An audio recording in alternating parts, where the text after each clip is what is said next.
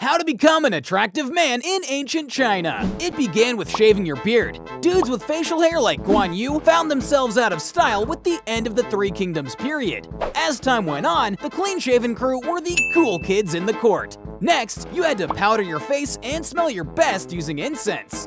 Back then, it was super hot for men to be pale-skinned and smell like Chanel. One time, Cao Pi's horse tried eating his kneecaps cause he slathered on too much incense. Then, you needed to get in touch with your feminine side. Minister He Yan was a fan of wearing women's clothes and mimicking their demeanor, which made him insanely popular in the courts. Finally, you really had to perform your best, especially in the bedroom. To do this, men took energy-enhancing drugs for their bedchamber business. Check out our last video about ancient Chinese psychedelics. Next, we're showing off some of the most handsome men who ever lived in ancient China. Subscribe so you don't miss it.